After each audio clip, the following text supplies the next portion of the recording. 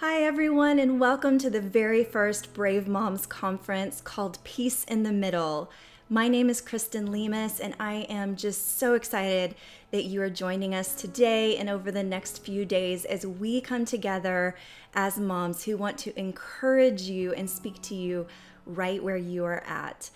I have heard from a lot of moms recently that they are really struggling with fear and anxiety. And I know that struggle. I know what it's like to have to deal with that. But God just started putting it on my heart to gather some women who have some experience, who have been there before, and who understand what it's like to be a mom with little ones, all the way up through uh, grown adult kids. We have some grandmothers who are going to speak to us, some empty nesters, some moms with teens, all the way down through the littles. And um, we just have some things that we want to share with you to encourage you. At Brave Moms, we know that God is so for us. And it is really our mission to encourage moms. We just want to be a wealth of, um, or a source of just rich encouragement for you right where you're at. And so I am just so excited and so honored to get to uh, share these women, these speakers with you and let you just hear from them, hear from their hearts. And hopefully, it is something that um, just really blesses you and encourages you. So, again, my name is Kristin Lemus.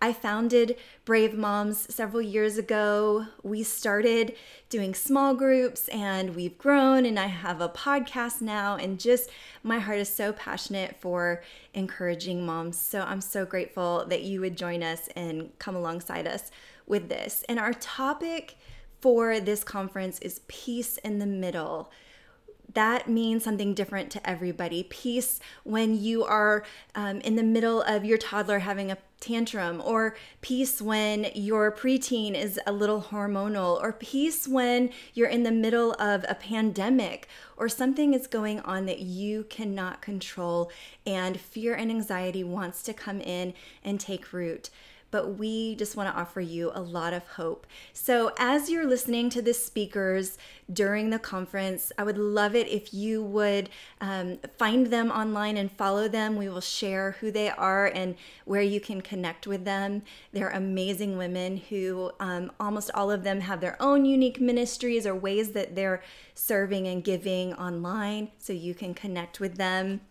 We also have a Facebook group that I would love for you to join if you feel like you want some uh, conversation during the conference. You want to connect with other women. Maybe you have a prayer request. So if you go to the Brave Moms page on Facebook, you can find the Brave Moms uh, community group there and just request to join. We'll get you in really quick, and then you can start um, chatting with the other women who are going through the conference and sharing your heart and um, any prayer requests you can put in there as well.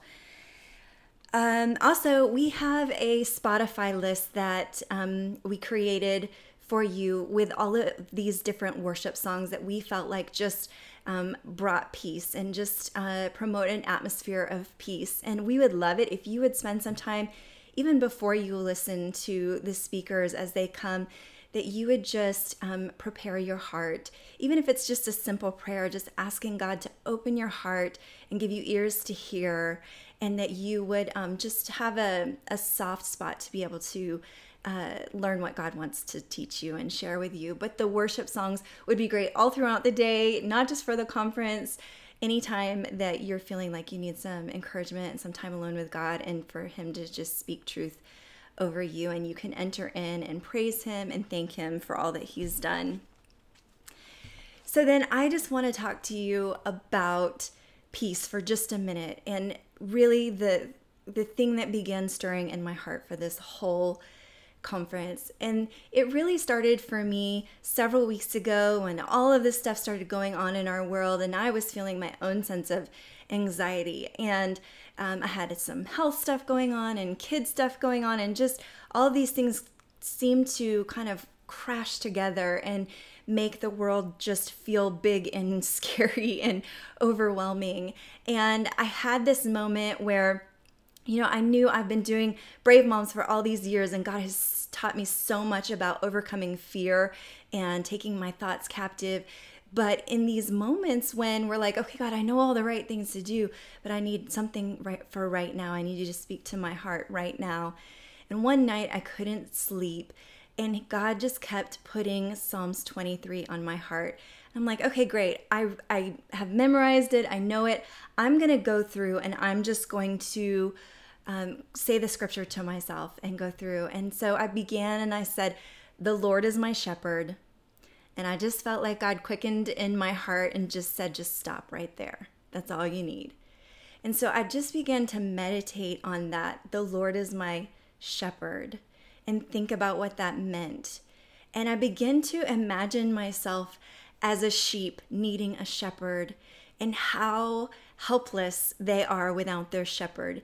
They don't know where to go. They don't know what to do. They don't have an ability to, um, you know, make sure that they have the food they need if they you know eat through a field where do they go next? And uh, the shepherd is the one that takes care of them. He leads them and guides them and protects them and provides for their needs. And that just blessed me so much in the moment. It was so what i needed to hear. And as the days went on i just began to dwell on the lord is my shepherd. And then finally, I felt like God released me a little bit to go further into the scripture. And the very next verse is, I shall not want. And another translation says, I have everything I need. So connecting the two, it's the Lord is my shepherd.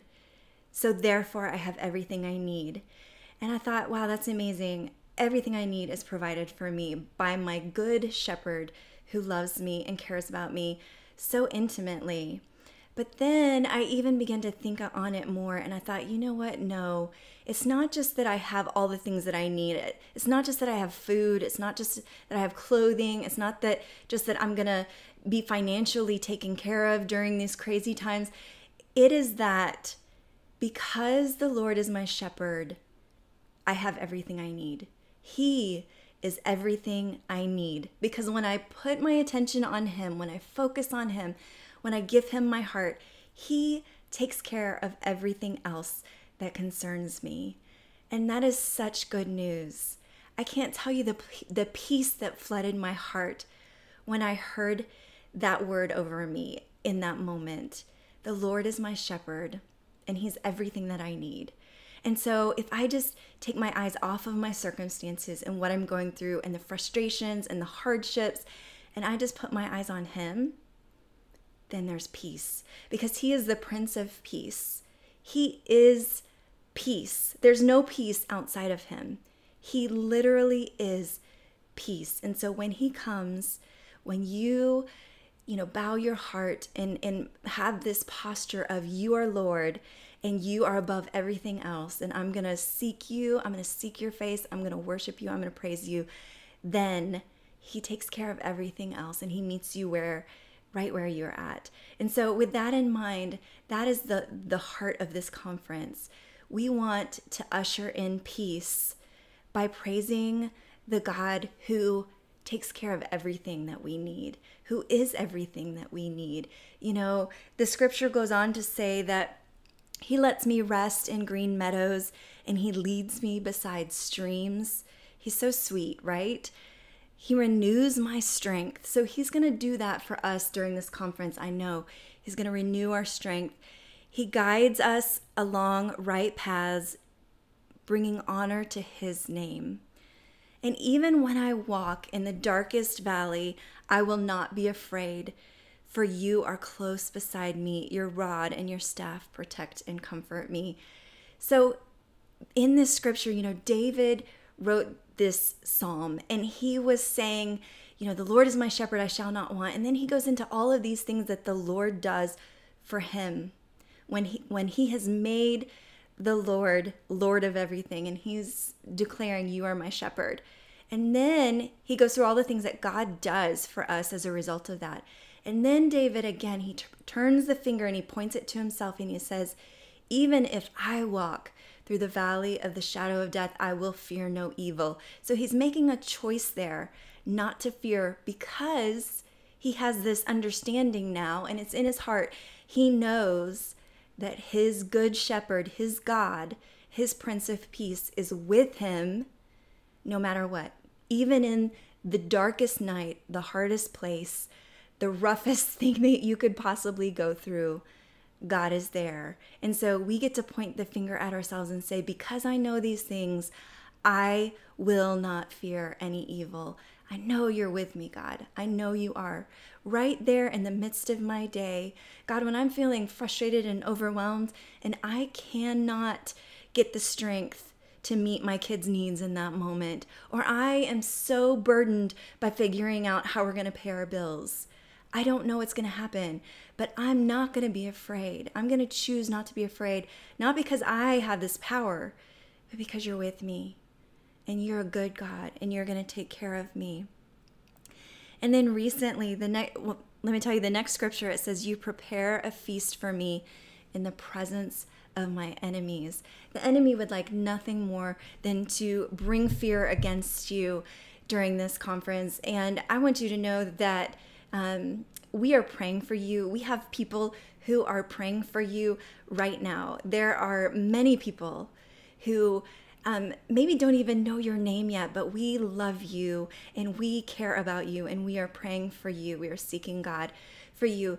But you have a real enemy, and he is the one who wants to make you afraid. He wants to come against you and tell you that you should be afraid, that God is not with you. But here's the thing in all of this, God prepares a table for us in the presence of our enemies. And recently, God began speaking to me about this scripture, and I felt like He just asked me one day, What do you get to eat at a feast in the presence of your enemies that the enemy cannot have, that he cannot take from you? And as soon as I felt like He asked the question, I felt like He answered it and said, It's fruit. So when you are seeking God, and you are walking in his ways and you are following him, there is going to be good fruit that comes out of your life. Even if you mess up a hundred times a day, you still you love your kids and you are pouring into them and you are helping them learn and you are helping them to make good choices. That is sowing. That's planting seeds. That is doing something that is going to produce fruit. And you get to sit down in the presence of your enemies and eat that fruit one day. You're eating fruit from your life, and, and the enemy cannot take that away from you. So be encouraged to continue to plant good fruit in a place of trusting God and knowing that He's with you and knowing that He protects you and provides for you when you keep your eyes on Him. All right, that is what I wanted to share with you. I hope that that encourages you and just sets the stage for all of these amazing speakers who have a great word to share with you. I cannot tell you how many of them have been um, messaging me and texting me and calling me and just saying, I'm so excited about this because God gave me this amazing word for um, these women right now. And so we're so glad you're here. Please reach out if you need anything and um, let's get started.